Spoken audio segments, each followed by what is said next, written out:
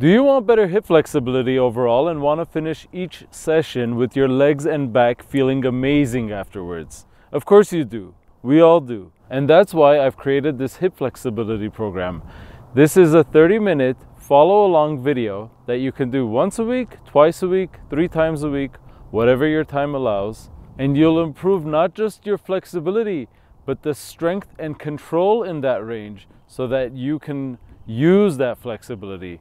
So it's not just passive flexibility, but active flexibility. And it does so without tweaking your knee because some hip stretches tend to be very difficult on the knee.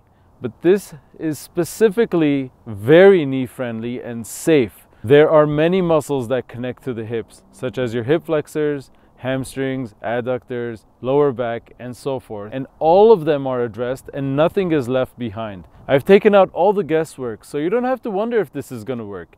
It will work, and I guarantee it because I've been refining it and beta testing it with people of all levels for months and months on end, making sure that this is the perfect program, as perfect as it could be. So I know it's gonna work.